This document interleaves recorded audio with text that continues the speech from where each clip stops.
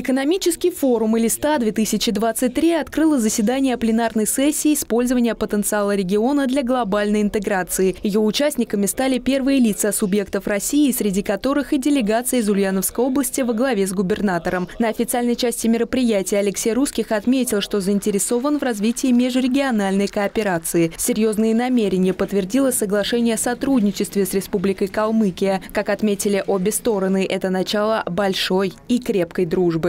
Вновь и вновь подчеркиваем, Калмыкия открыта во всех смыслах. Открыта и дружить, и сотрудничать. Несмотря на то, что мы переживаем непростое время, время вызовов, тем не менее, всех нас объединяет идея и мысль о том, что это время и возможности.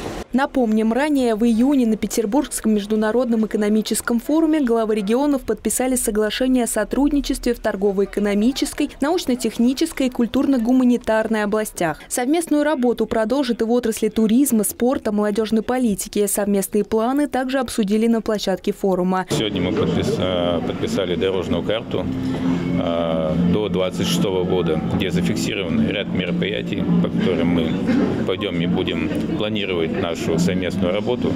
Направление в основном, я считаю, это сельское хозяйство.